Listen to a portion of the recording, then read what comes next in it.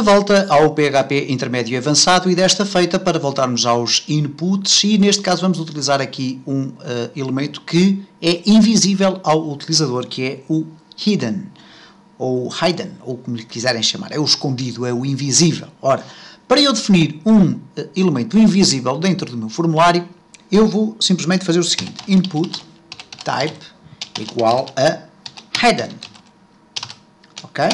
E depois no value eu vou escrever o texto que vai ser adicionado então a este valor, a este, a este item, mas que não vai ser apresentado no meu formulário. E já lá vamos. Eu vou uh, escrever o seguinte: esta informação não foi apresentada, ups, apresentada no formulário. Ok? E vou agora fechar. Antes de fechar, vamos colocar aqui um name igual a invisível. É o nome deste campo. Ora, reparem o seguinte, quando eu refrescar aqui o meu formulário, nada aparece, nem há texto invisível sequer, ok? Não há aqui texto que eu possa selecionar do meu formulário. Portanto, ele é completamente um campo invisível. Ora, para que é que isto servirá? Bem, basicamente nós podemos utilizar esta metodologia para canalizar um conjunto de informações através do nosso formulário que não são controladas pelo utilizador, ok? Não são nem preenchidas nem escolhidas pelo utilizador. Isto pode ser muito interessante, por exemplo, quando trabalhamos com sessões, que é algo que nós iremos ver mais à frente, ou quando queremos enviar qualquer outro tipo de informação que depois irá ser tratada no script de PHP que vamos utilizar para tratar as informações provenientes do nosso formulário.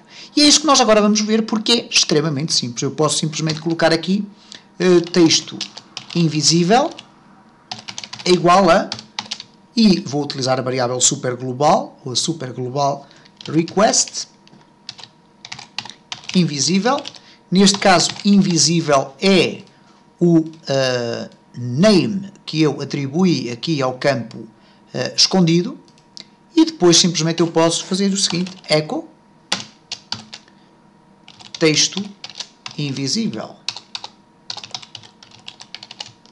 E reparem então, agora eu vou refrescar e não tenho aqui nada para preencher, mas posso enviar, clico em enviar e cá está. Esta informação não foi apresentada no formulário, que é o texto que está aqui escrito então no hidden, ok? E uh, nós não vamos, por enquanto, ver aqui quais são as aplicações práticas deste tipo de implementação. Em vídeos futuros, com certeza, iremos uh, voltar a elas, mas fica aqui então esta uh, possibilidade que nós temos de incorporar objetos escondidos dentro dos nossos formulários. Outro valor que nós, ou melhor, outro elemento que nós poderemos colocar aqui é o text area. O Text Area permite-nos criar uma área de texto uh, que uh, poderá ser usada pelo utilizador, por exemplo, para escrever uma mensagem mais comprida.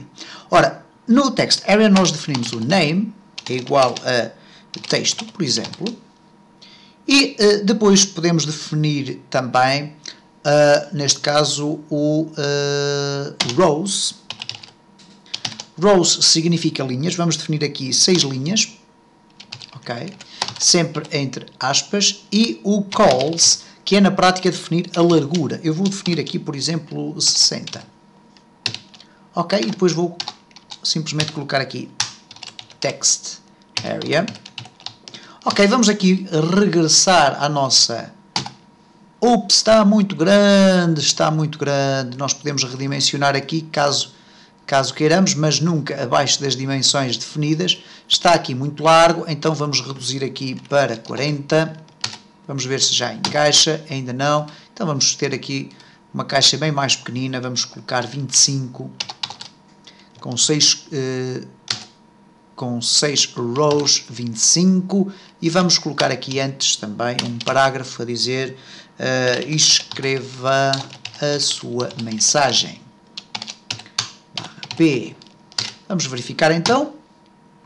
Cá está, agora se calhar ficou demasiado pequeno. Vamos colocar 30. Ok. Ok. Escreva a sua mensagem. E uh, curiosamente desapareceu o submit, porque nós apagámos o submit sem querer.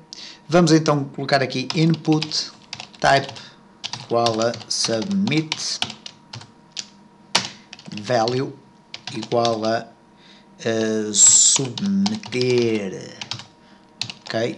Vamos aqui verificar o que é que acontece neste caso. Cá está, submeter. Eu sei que tinha aqui um ID que era o submeter, então vamos colocar um ID, ID igual a submeter, para que o nosso botão seja formatado. Cá está ele, ok. Ora, escreva a sua mensagem. Temos aqui uns BRs a mais, ok. Vamos aqui tirar os BRs.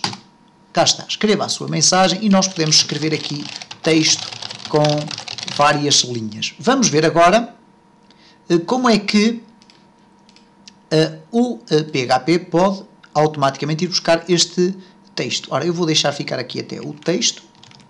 Ok.